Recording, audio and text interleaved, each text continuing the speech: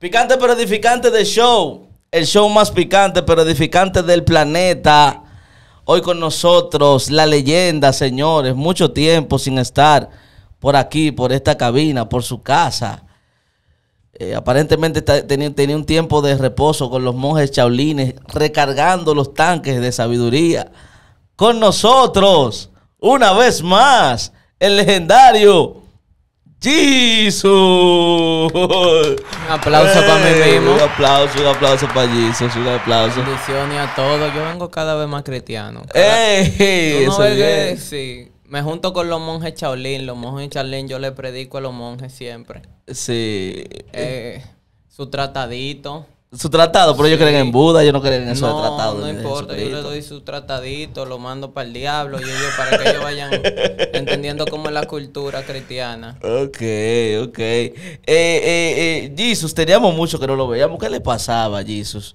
Eh, ahí lo vemos atrás de su hermano JJ, que, que, que quiere ser artista, ahora anda haciendo música, canciones. ¿Qué es lo que ha pasado? Explíquenos. Chacho siempre le da una charlatanería rara. Sí. A mitad dejó la carrera. Eso fue una decepción. En esa, Sí. esa casa lloramos y de todo. Eso era la esperanza. ¿Él dejó la carrera de, de- de- de cine? No, no, no. Él dejó la carrera que tenía antes. Se metió hasta sinvergüenza. Y que cine, que él es cineasta. Digo, muchacho, ¿cuándo tú has visto un pobre en eso? Esos son los blancos que triunfan en esa vaina. Y tú eres loco. eh. Entonces se mete en esta vaina y ahora di que tú lo ves can. No, pero no. no, pero él canta Vamos a hablar de otra cosa. Pero él canta bien. Vamos Eh, a hablar de otra Jesus, pero ¿por qué usted, usted está evitando el contacto eh, visual conmigo? ¿Qué es lo que le pasa a usted? No, yo te. ¿Y dónde que tú estás? ah, Estoy aquí, yo estoy aquí. eh, no, pero me volteo. Dice, ¿qué le pasó a los lentes? Yo no venía era porque no había para el pasaje. Ya que está develado el problema. ok, ok, que, que hay con los lentes. Hay que hablar con nuestra gente de Optic Go para conseguirle unos lentes a, a Jesus. Jesus, eh, antes de entrar, ¿verdad? Eh, en, en las preguntas de los jóvenes que anhelaban su sabiduría, necesitaban eh, encontrarse con su sapiencia para poder transformar su vida, ya Es que hay muchos jóvenes sí atados aquí a la masturbación, atados aquí a, a las relaciones tóxicas. Eh, era importante que usted viniera nuevamente y diera sus consejos, pero en los últimos días, Jesus, han pasado cosas en el mundo que siempre me interesa consultar con usted y con su sabiduría sobre los últimos acontecimientos. Recientemente, Jesus, hay una empresa llamada Apple Mm, que hace un año tiró este teléfono. Mira, hasta se pegan estos teléfonos. cuidado. tiró este teléfono. Este es el iPhone 12 Pro Max. ¿Entiendes? Un asunto bien. 100 mil pesos costó, costó cuando salió esa, esa cuestión. Ya salió uno nuevo y ya el precio de este bajó. Ah, Pero, menos mal. menos mal. Pero Jisoo, ahora sale este teléfono. Se va a poner interesante. ¿Cuál? Este, este, este. Este, este es el iPhone 13. Este, este. Otro. ¿Por qué nadie me lo dijo? ¡Ay, debo haber parecido un idiota! Tú me lo tiras y me le das par de vueltas y me preguntas. Pero que este cuesta Y 100 yo no sé cuál es cuál. Este Jisoo cuesta 120 mil pesos, este, este, este teléfono. Míralo, mira, mira, mira, agá- agárralo ahí, agárralo ahí. Eh, yo quiero hacer un review con usted. No, porque este es el interesante. La comparación aquí es interesante. Jisoo. Jisoo, y usted, tiene un sonata en la mano ahí ahora mismo. ¿Un qué? Un sonata. Vaina. no, agárralo, tranquilo, tranquilo. Tenga fe, Me tranquilo. tiembla la mano. Yo nunca he tenido un buen pulso. sí. Jesus, yo quiero que usted me explique cuál es la, cuál es la diferencia y que hagamos un review profundo. ¿Cuál es la diferencia entre el iPhone 12 y el iPhone 13? ¿Por qué yo ahora tengo que sacar 60 mil pesos para comprarme un iPhone 13? Mira, yo no Analícelo sé- usted según su Yo no sé sabiduría. de diferencia, porque te voy a decir la verdad. Ajá. Después de 15 mil para adelante, para mí todo es igual porque yo no lo puedo comprar como quiera. So, a mí me da exactamente lo mismo, 120 mil y 100 mil. Pero yo no lo voy a comprar como quiera, pero te voy a decir una vaina. Ajá. ¿Cuáles son la- eh, la- las, las novedades que usted nota? Yo veo como que dispositivo? este, tú ves, este como, tú ves cuando tú le echas agua fría, al- Ajá. es diferente. Yo lo que no sé decirte en qué. Pero no es igual. No es igual. ¿Pero por qué no es igual? ¿Por No, es igual? pues si los si los blancos dijeron que no es igual, no es igual. Porque un tipo que se graduó seguro en Yale, Ajá, ajá. él dijo, voy a hacer un celular diferente. Tú lo ves igual, pero es tu ignorancia. Ah, mi- es mi culpa, es mi culpa. Digo yo, porque si el que sabe fue el que hizo el nuevo, ¿verdad? Claro, Y claro. él dijo que era diferente, pues hay que creerle al Claro, blanquito. claro, claro. Eh, eh, los botones, este tiene más botones. ¿Qué, qué, qué ¿Ese pasa? tiene más botón? Yo- No, pues yo lo veo con los mismos botones. pues yo te voy a decir una vaina. Los botones. Yo te voy a decir. Pero. ¿y si yo vendo el 12 por el 13? ¿Dónde lo dice que el 13? De verdad, porque yo tengo miedo ahora en la calle que yo vaya a comprar el 13 y me den un 12. Pero no puede ser, no Porque puede es ser. lo mismo. ¿Verdad? No, qué las pa- cámaras están ubicadas de manera diferente. Ajá, explíquenos eso. Mu- eh, enséñalo a la cámara. Aquí, muéstralo a la cámara. Ahí. Eh, eh, mu- mu- muéstrale a la cámara por qué, por qué está en, en, es diferente. como que esta está más para arriba. Esta información vale millones. El de este, el de este. Un poco más para arriba es esta. Pero, ok, ¿y en qué influye eso? En las dimensiones de la cámara, de los frames, de la calidad fotográfica. Llévate de mí que eso cambia. Pero, ¿qué es lo que cambia? ¿Qué es lo que- Óyeme, yo estoy asustado, eh. Yo, yo no sé lo que estoy diciendo con todos estos cuartos que yo tengo en la mano. Mira, yo estoy temblando, mira cómo que me tiene en la mano. No. A mí me déjenme con mi maquito. Sí, su paquito. Porque a mí me atracan esto. Pero es un iPhone 8 que usted tiene ahí. Yo creo que ni a 8 llega. Yo. no, no llega a 8. Que, no, es un iPhone 8. Es un 8. Él está bien. Es un 8. No, y rojo, señores. Y rojo, y rojo. Mire, Jisoo, entonces una pregunta. Eh, eh, eh, usted, usted, si usted tuviera la posibilidad económica de, de hacer ese cambio, ¿usted lo haría? Yo me compro otro lente. Ahorro para el pasaje de la universidad. Sí, sí. Que ya están por poner la presencial. Ajá. Esto puede esperar. ¿Por qué tú compraste uno de estos? En el caso mío. Sí, en tu. No, porque usted sabe que uno trabaja mucho con, con multimedias, el contenido, YouTube. Yo te voy a decir una vaina, yo necesito uno de estos porque yo con este como que leo los comentarios Ajá. y me quillo, me aburro con la gente. Sí, ¿por qué? ¿Por qué? Porque es que ya, o que la gente habla mucho disparate, pero si yo creo que con uno de estos en la mano, a mí que me importa lo que me digan. Te voy a decir una vaina, yo compro uno de estos y mando un bici. ¿Qué iPhone usted tiene? No, tengo un Android bloqueado. Por loco, por pobre, no vaya a ser que se me pegue la olla. Míreme, ¿y usted no cree que, que eso es muy, muy capitalista, muy... Eh, eh, muy... Hasta de Santiago que sea, a mí no me importa No. la vaina. Te voy a decir algo. Ajá. ¿Verdad, capitán? eh. El punto es. No, pero bloqueado. Es que la olla se pega, Feli. La olla se Cuando pega, pero tú estás con escúchame. entre gente con olla. Escúchame, ¿cuál es la importancia? Porque yo conozco gente que atracan para tener un teléfono de eso. Hay jovencitas que van a hacer cosas que no podemos describir aquí por ese teléfono, hermano. Bueno, cada por quien- el iPhone 13. Cada quien trabaja por su felicidad, como lo desea. Incluso, Jesus, si usted se fija, mira, ahora mismo en pantalla estamos viendo una foto de la fila de Apple de gente comprando ese teléfono ahora mismo.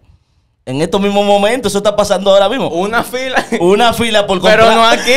no, aquí, obviamente. Porque una fila de gente que va a comprar una vaina de 100 mil pesos. Eso, o sea, atráquenme. Y tú estás- obviamente no, aquí no. Aquí no, Jesus. Pero yo tengo no. entendido. Pero un año de diferencia, ¿verdad? Es un año de diferencia, sí, un año de diferencia. Eh, un año de diferencia y de, de uno al otro como 40 mil o 60 mil pesos, ¿verdad? Como, sí, como 60 mil pesos. 60 mil pesos de Ajá. diferencia. Ajá, del uno al otro, sí. Es un sueldo de un rico. Bueno, esa es la diferencia. Los que hay. pobres están trabajando un año. Es así, es así. Pero nada. Bueno, Jesus, vamos, vamos arriba, vamos arriba con los a consejos. Dios.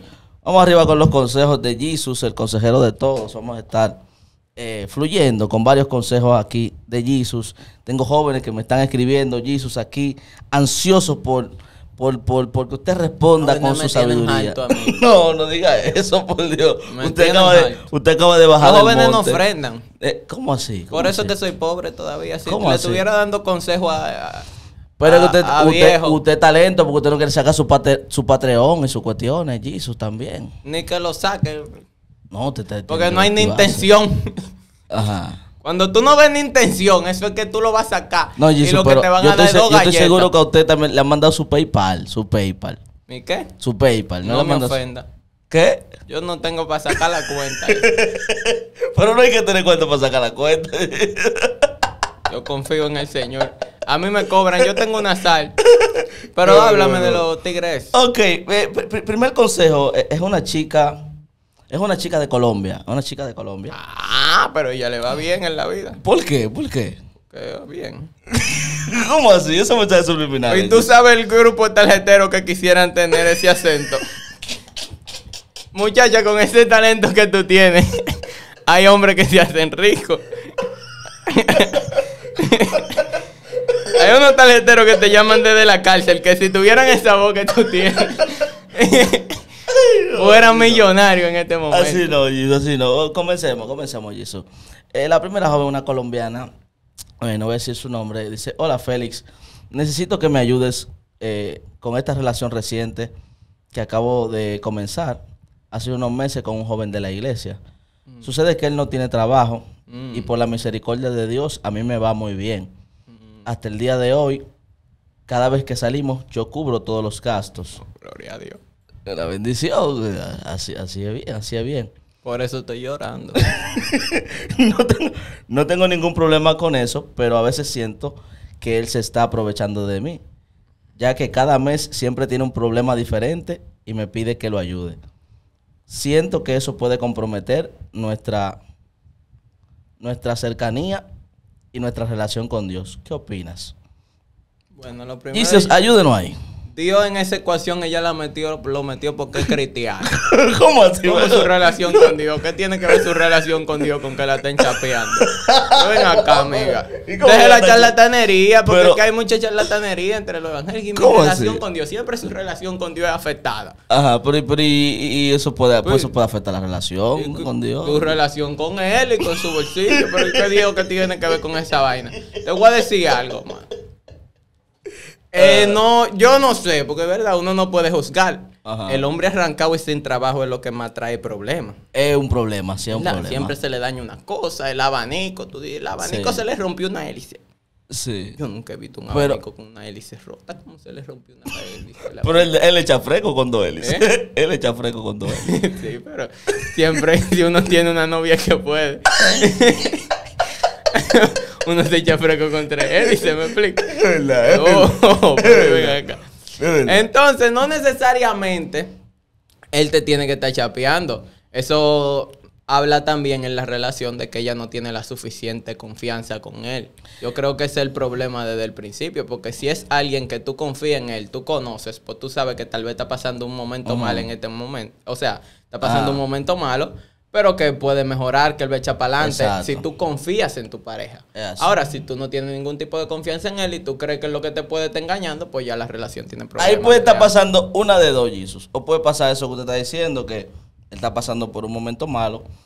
Pero también se da mucho, Jesus, en que hay mujeres que como no tienen nada que ofrecerle a un hombre, solamente pueden ofrecerle dinero.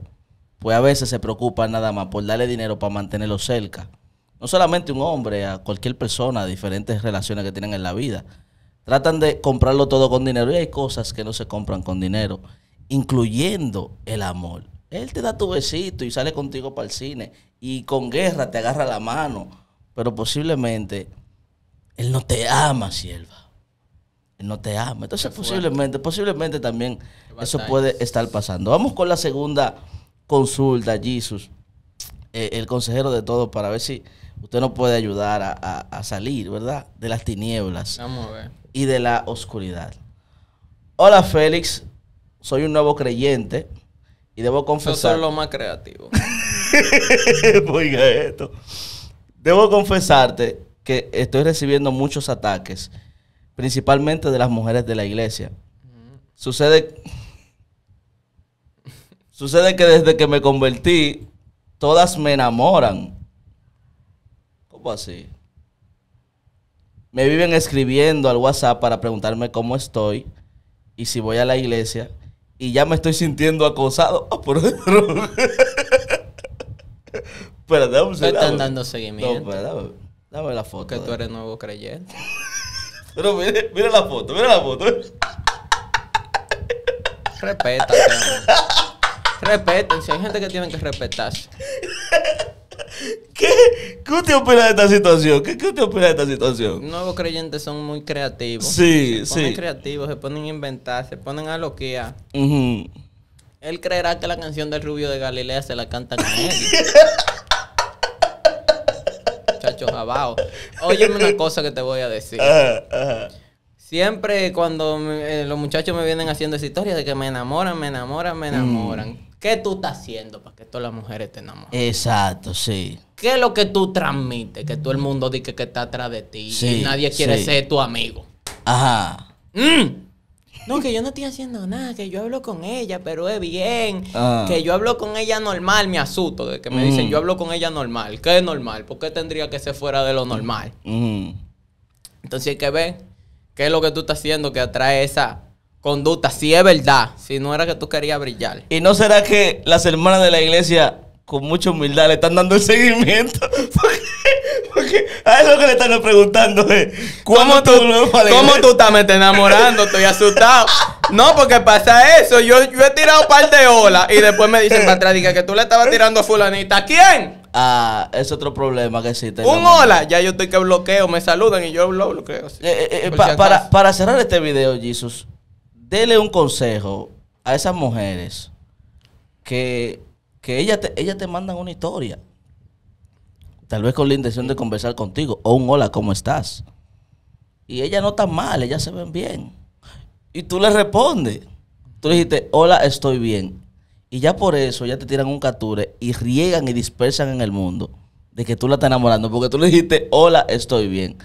¿A qué se debe ese comportamiento? ¿Cuál- ¿Cuáles son esos demonios? y ¿Cuál es, ¿Cuál es el nombre de sus espíritus?